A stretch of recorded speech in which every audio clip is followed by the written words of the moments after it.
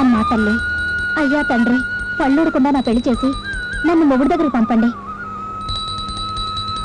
అన్నా అటుకుల చిట్టిబాబు తొందరగా భావం తెచ్చి నా కార్యం గట్టెక్కించరా. ఓ కూతుర్ని కని నీ పేరు పెట్టుకుంటాను. అయ్యో అయ్యో అయ్యో నీకు ఇదేం పోయే కాలమే? నిక్షేపంగా ఉన్న నా కొడుకు పుట్ట కార్తీచ్చేస్తున్నావు నీ నిక్షేపరాయణ్ణి తొందరగా నా పెళ్ళి చేసి తగలడమని మొక్కుకుంటున్నాను. చేస్తాడే చేస్తాడు. వాడికి కాలం కర్మం కలిసి రాని నీ పెళ్ళి ఎంత వైభవంగా చేస్తాడో చూద్దు గాని. సరే ఎంతైనా తోడబుట్టినవాడు కదా. ఓ ఛాన్స్ ఇచ్చి చూస్తాను. చేశాడా సరే లేకపోతే ఏ పోస్ట్ మెంతనం జెండా ఎత్తేస్తా. Atukula Chittibabu MCom MBA MPhil CAI or nine ఇంకా నా వల్ల కాదు.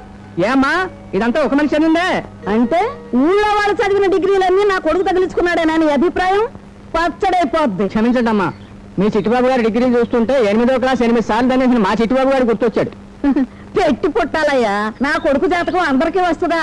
ఇంటికి పాపం మీ చిట్టుబాబు ఏం చేస్తున్నారు? కలెక్టర్ ఆఫీసులో బెల్లబంటారుతమ్మా ఆహా. పర్వాలేదే. ఎనిమిదో క్లాస్ చదివిన మీ అబ్బాయి కనీసం కలెక్టర్ ఆఫీస్లో ప్యూన్గానైనా పనిచేస్తున్నాడు. మరి ఎనిమిది డిగ్రీలు చదివి కలెక్టర్ అవ్వాల్సిన మా అన్నయ్య ఇప్పుడు ఏం చేస్తున్నాడో తెలుసా?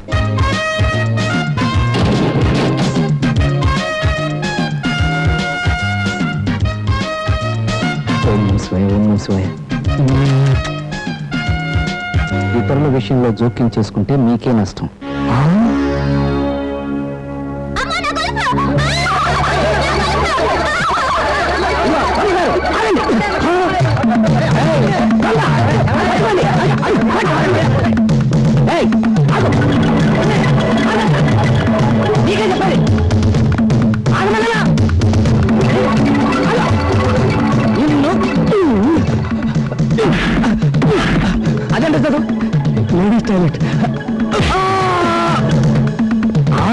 మెళ్ళ చేయి కొట్టేస్తావా?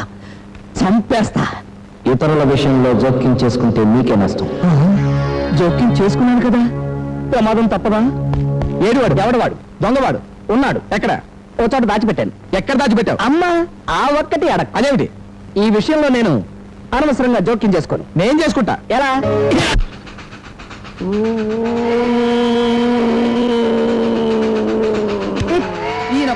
చేదస్తపు మొగుడు. చెబితే వినడు కొడితే ఏడుస్తాడని రిటైర్ అయి పదేళ్ళు అయింది ఇల్లంతా రైల్వే స్టేషన్గా మార్చేసి పిచ్చి పిచ్చి వేషాలు వేస్తున్నాడు. ఏమండాయ్ ఇదిగో కాఫీ. తీసుకోండి.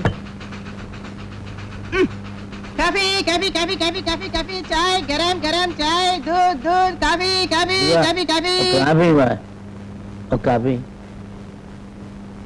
ఏమండాయ్ మీరు ఇలా కాఫీలు టీలు తాగేసి పడుకుంటే మీల్స్ మాట ఏంటి? మీరు పెట్టుకుంటా బిట్రగుంటా మీల్స్ సంగతి కాదు ఇంట్లో మీల్స్ ఇంట్లో మేసుకు లోటే ఉంది. సగం స్టేషన్ అతికిచ్చేసాం కదా. అద్దెకిచ్చిస్తే సరే వాళ్ళ అద్దె ఇవ్వద్దు. వెళ్ళి వసూలు చేయండి కాసేపట్లో వస్తారు. ఆగండి. ఇలా టికెట్ లేని ప్రయాణం ఎంతకాలం చేద్దాం అనుకుంటున్నారు? టికెటా ఇంతద్దే ఉంటుందిరా. You mean rent you see mister Sahadevudu after one year I will be king ఆ తర్వాత నీ అద్దె మొత్తం.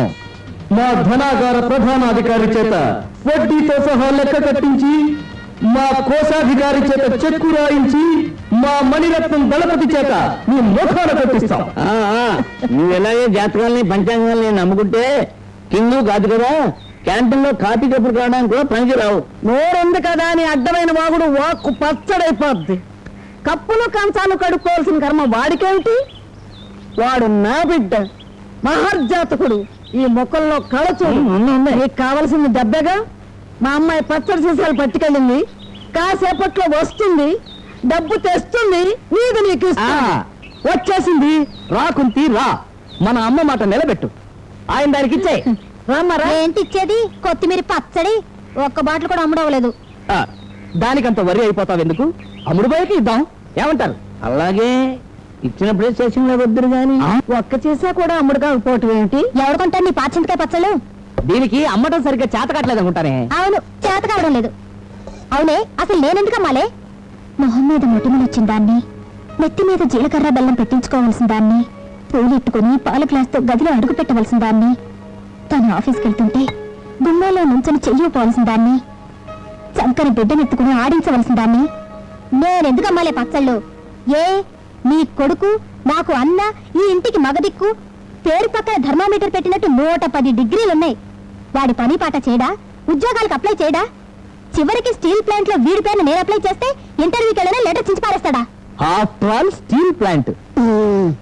After one year అదే స్టీల్ ప్లాంట్ నీ మొగుడికి ప్రజెంట్ చేయవలసిన నేను? అక్కడ పనిచేయడం తలవంపుడు కదా? అసలే కిరీటం పెట్టుకోవాల్సిన తల.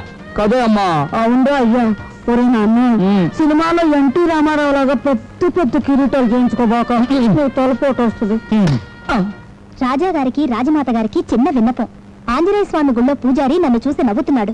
మీరు తక్షణం నా పెళ్ళి చేయకపోతే నేను ఆయనతో